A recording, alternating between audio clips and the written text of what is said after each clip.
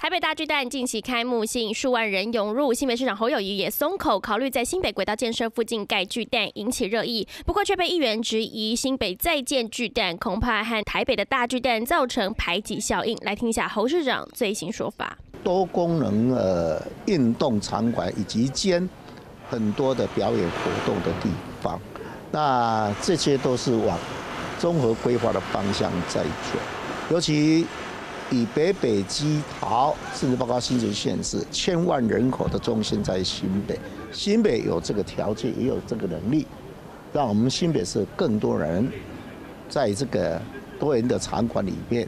能够尽情的发挥。出席活动前，监察院长同时也担任天使居创办人的王建轩也参与。而外界关注的新北巨蛋目前规划和进度，因为民进党议员李宇翔质疑缺乏长期城市治理视野、不负责任的想法。像是法国巴黎埃菲尔铁塔，每年吸引近七百万观光客，难道也要盖一座吗？任何大型场馆新建都需要有完整的评估，如选址、财务评估等。而后一解释，新北规划运动场馆是朝多元性。功能性的方向来，可以运动，也可以办演唱会，盖在交通便捷的地方，到新北市欣赏运动或其他相关的活动也会更方便。目前会做综合的评估，万全做好之后再跟市民报告。